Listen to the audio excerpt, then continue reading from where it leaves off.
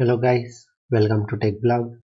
In this video you will learn about Python program to prompt a user for their name and then welcomes them using the prompt that is graphical user interface.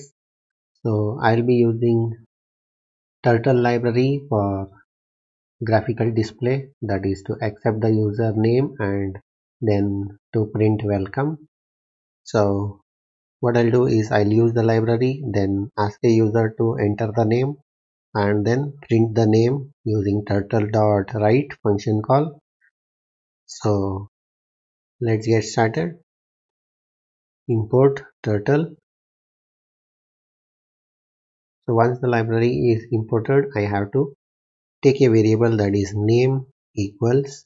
I have to ask a user to enter the name that is prompt the user using turtle dot input text input function. So this takes two arguments. One is the dialog box name that is hi and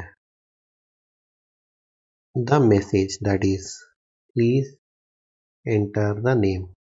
Enter your name once the user enters the name we have to write it.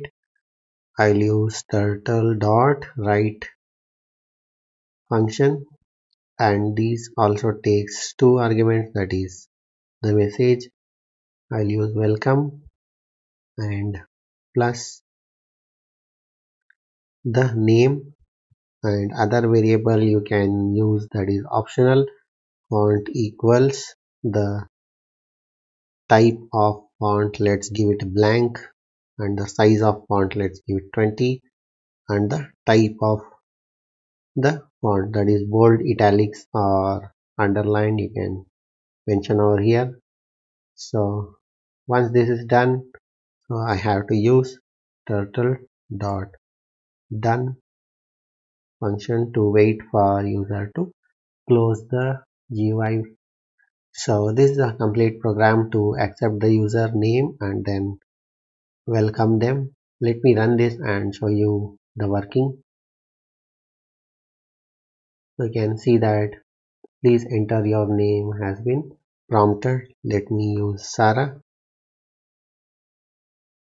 And after I enter the name you can see that welcome Sarah is displayed. Closing it